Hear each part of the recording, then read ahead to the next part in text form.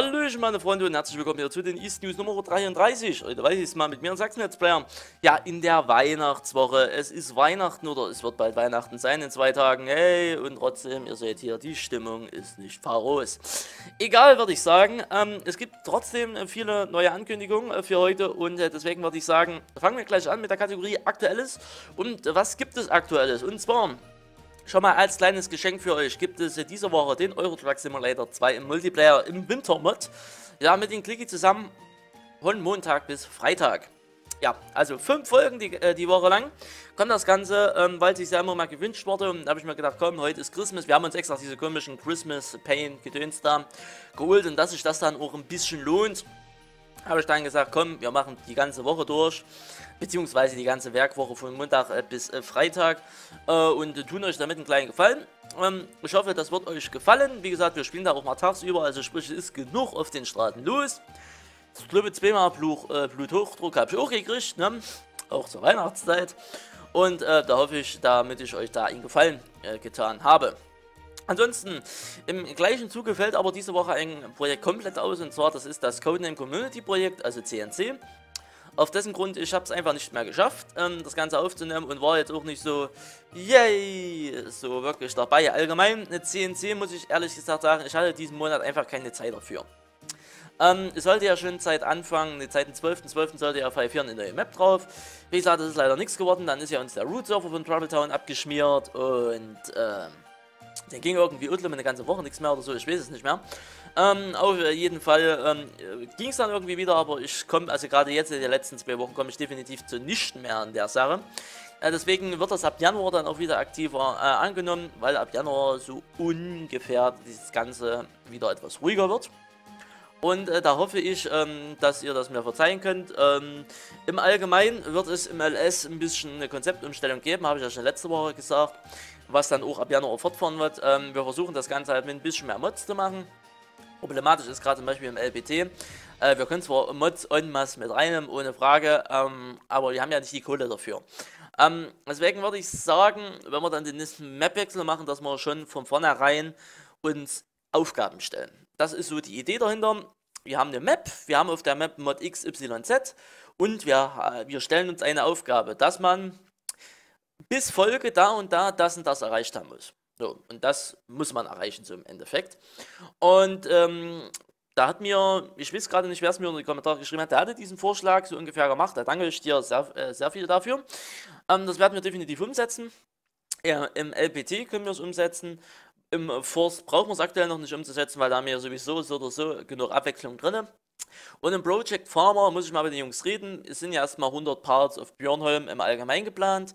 Ähm, mal gucken, wie das mit den äh, Project Farmer weitergeht. Vielleicht kommen ja auch noch neue YouTuber dazu. Wir haben ja die Julchen haben wir ja drin, wir haben jetzt HP ähm, äh, drin. Muss man mal gucken, dass man vielleicht auch, ich nenne es mal einfach Leute, die mit der Thematik noch gar nichts zu tun haben, einfach mal mit reinnehmen und denen mal zeigen, äh, hier, gucke mal, das ist trotzdem schön. Ja, und ähm, wie gesagt, müssen wir im Allgemeinen mal gucken wie sich das so entwickelt. Ähm, wir hatten ja Harry, hatten wir schon drin. Ich denke mal, Harald wird nicht mehr mit reinkommen. Garderol wäre immer noch mein Wunsch. Oysterbomber wäre immer noch mein Wunsch. Der Frage, dass einer von den beiden vielleicht immer mit, mit dabei ist. Es wäre einfach mal geil, wenn man da einfach mal über die Themen quatschen könnte. Weil gerade Oyster hat Ahnung, mega viel Ahnung von der Sache. Gerade das sage ich mir immer aus, äh, aus Prinzip. Aber ich habe es ja schon mehrmals gesagt, es ist manchmal nicht ganz so einfach, was ich schade finde. Aber okay, ich akzeptiere das Ganze ja. So, ansonsten geht es mit der Hunter Primal weiter. Wenn das einige von euch noch nicht gehört haben, der Hunter Primal ist das neue Spiel von den Hunter-Entwicklern und äh, dreht sich so halbwegs äh, wie der Hunter. Ja? Es geht um, um Überleben, also das ist, im Grunde und Ganzen kann man sagen, das ist der Hunter mit Dinos.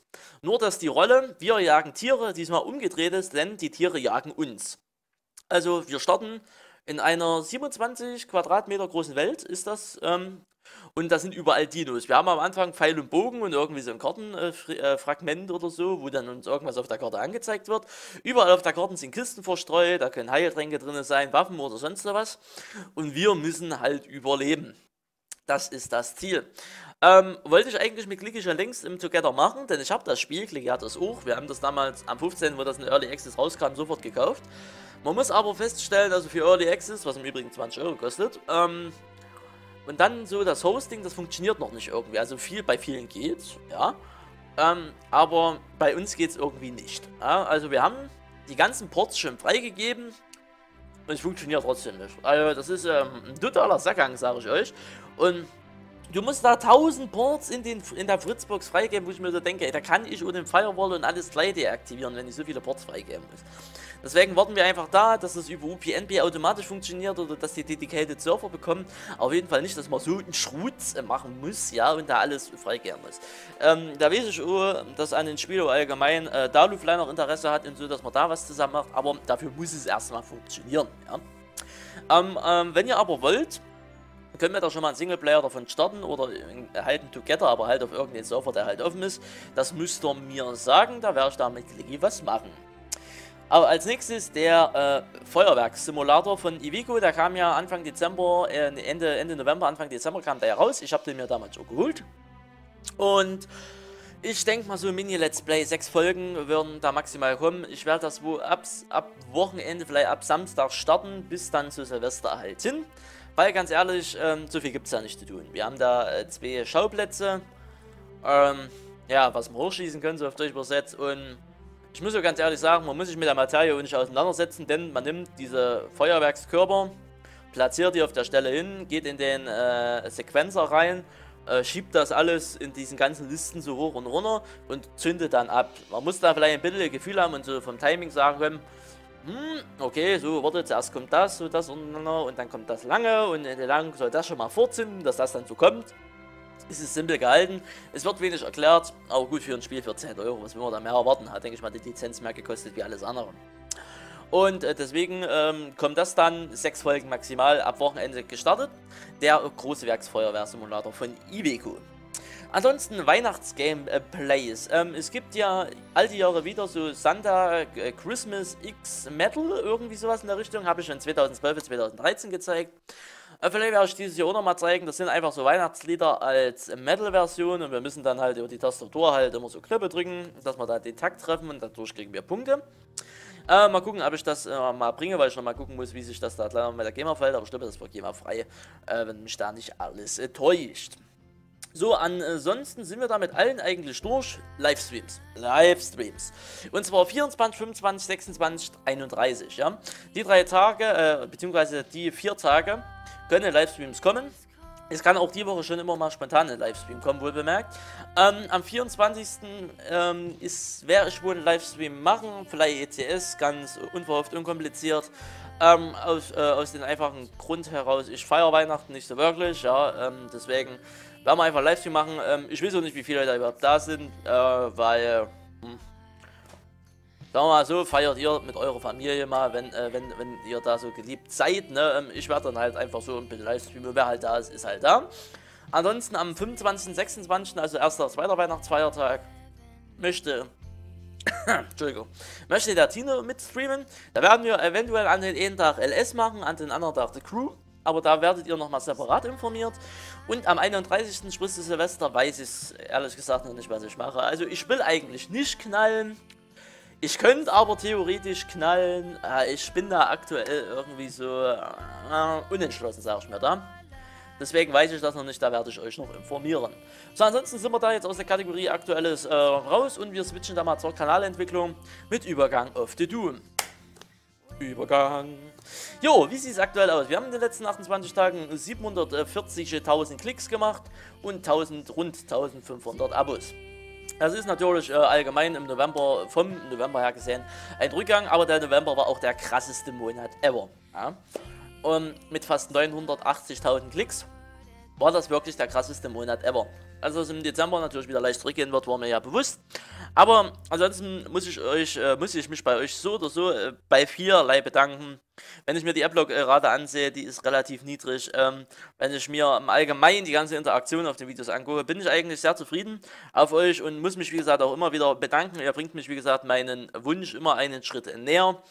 Wir sind ja dann sowieso, ab Januar wird das Ganze ja sowieso nochmal ein bisschen umgemodelt von der Geschäftsebene her, ähm, gewerbetechnisch und alles. Ähm, kann ich euch dann nochmal mehr informieren, wenn es soweit ist, bevor ich jetzt was Falsches sage. Und ab August soll das Ganze dann ja sowieso komplett auf, auf, auf eigenen Füßen stehen, aber da muss man halt alles abwarten, wie sich das entwickelt. Äh, wir müssen halt gucken, wie sich das 2015 im Allgemeinen, sage ich mir, da immer entwickelt. Es kann so kommen, es kann auch alles vorbei sein. Ne? Ähm, man weiß es nicht so genau. Aber wie gesagt, ich danke vielmals euch, ähm, dass ihr mich unterstützt. Und ihr könnt mich ja wirklich, wie gesagt, in dem Sinne kostenlos unterstützen, indem ihr die Videos schaut, indem ihr den scheiß App-Blogger ausmacht, äh, indem ihr halt, ich nenne es mal, die Werbung ertragt. Und ich sage mal so, die Werbung ist noch alles sehr angenehm, äh, wenn man es mal, mal so nimmt. Man kann ja alles überspringen, etc. pp. Und äh, Einfacher kann man es nicht haben. Ich kann nur dazu sagen, weil ich schon welche jetzt äh, bei den Teamspeak gesagt habe, ja, ich habe meinen Adblocker mal an, ich vergesse ja fast aus immer. Es ist so schön und gut, aber man kann nicht auf der einen Seite sagen, ich finde dich geil, ich unterstütze dich und auf der anderen Seite mache ich einen Adblocker an. Oder lassen an. Also das ist ein Widerspruch in sich. Aber okay, würde ich sagen. Und äh, sind wir mit der Kanalentwicklung auch äh, schon fertig und switchen dann mal schnell in die Community-Sektion. Achtung! Community-Sektion. Unglaublich. Hier nur drei kleine Ankündigungen. ETS-Konvoi, ETS-2-Konvoi wird es geben ab Januar ich werde mich da mit der Convoy Security, wie gesagt, zusammensetzen. Ich werde mich da melden, Jungs. Ich melde mich.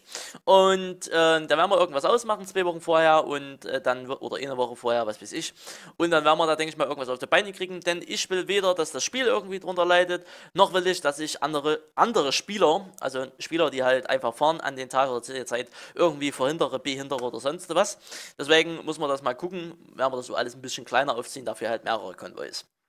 Äh, zum zweiten Thema, äh, die Fankarten. Ich habe letzte Woche Freitag die letzten 14 verschickt. Es waren irgendwas mit 50 im Posteingang drin. Wie gesagt, ich konnte leider noch 14 abarbeiten. Die neuen Karten kommen im Januar erst an, weil wie gesagt, dieses Jahr geht gar nichts mehr. Ja, der Zug ist abgefahren, auch von den Liefer, äh, Lieferdaten her und alles. Ähm, die Karten haben dann ein neues Design, also das, was jetzt hier bei mir im, im Kanalbanner äh, oben drin ist. Das mit Facebook und Dings, was ihr von Twitch so kennt, äh, das wird dann halt das neue Design sein. Äh, das kommt dann ab Januar, sprich so Mitte Januar, Ende Januar werden dann die nächsten wieder rausgehen. Deswegen, wenn ihr wollt, halt wie gesagt, die E-Mail-Adresse codename-codename, äh, codename, Quatsch, community-aktion äh, alles Videobeschreibung. Einfach E-Mail den senden und da halt Name, Adresse und Land, wenn er nicht aus Deutschland kommt, schreiben. Und dann wird das alles erledigt. Wie gesagt, es bleibt weiterhin kostenlos für euch, ja. Ähm, ihr braucht weder Versand zu zahlen, noch braucht ihr die Mehrkosten. Ich zahle alles. Ich zahle das Porto, ich zahle die Mehrkosten für Briefumschläge und ich zahle allgemein den Druck dieser Karten. Weil, ähm, ich kann es euch mal so sagen, 1000 solche Karten kosten mich 49,98 und das ist ein, was steht da irgendwie da, 6 Cent, 5 bis 6 Cent, ja kostet da eine so eine Karte, ja, im, im, im, im Materialwert.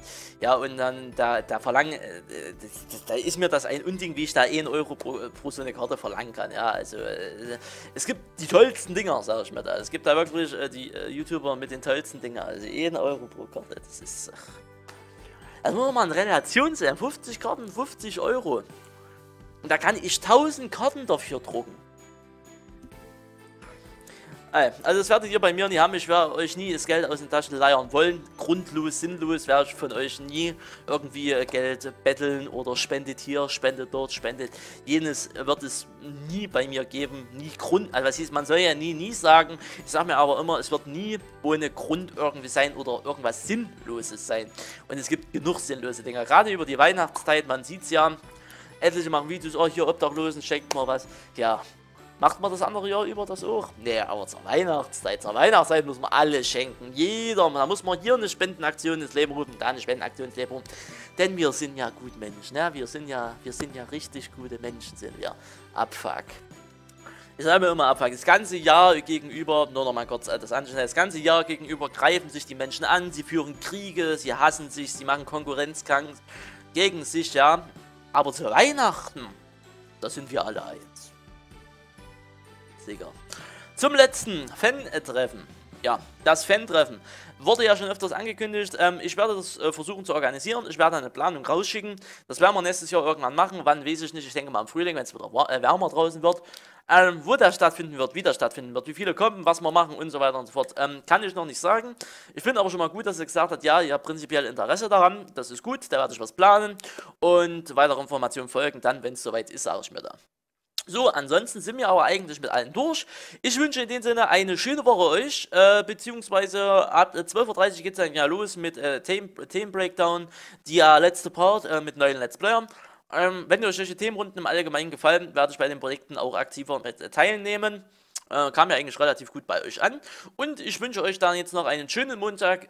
Neun, äh, neun interessante Projekte warten heute auf euch, also neun Videos. Vielleicht kommt noch eine Mod-Vorstellung, mal gucken, vielleicht geht ab morgen Mod-Vorstellung weiter. Ich danke erstmal fürs Zuschauen. Wir sehen uns dann, äh, ja, gleich wieder, würde ich sagen. Ne? Bis dann, haut rein. Peace und out. Tschüss.